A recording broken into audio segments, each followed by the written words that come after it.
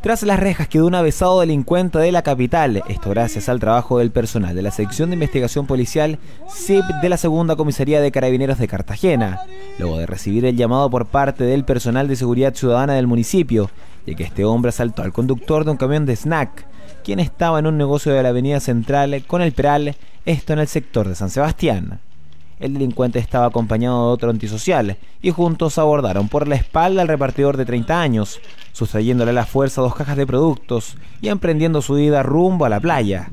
Tras el robo, el afectado siguió a estos sujetos, logrando darle alcance a unas cuadras más al poniente de San Sebastián. Fue ahí cuando uno de estos sujetos sacó, dentro de sus vestimentas, un cuchillo cocinero, con el que intentó atacar al repartidor. Fue en ese instante cuando una patrulla de seguridad ciudadana del municipio le prestó ayuda al cartagenino.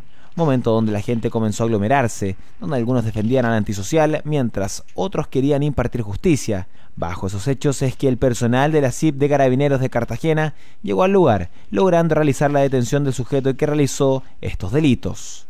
El hombre identificado con las iniciales JJOJ de 24 años tiene domicilio en Puente Alto y registra 23 detenciones por delitos de similares características, más otras 6 condenas por ilícitos contra personas y propiedad.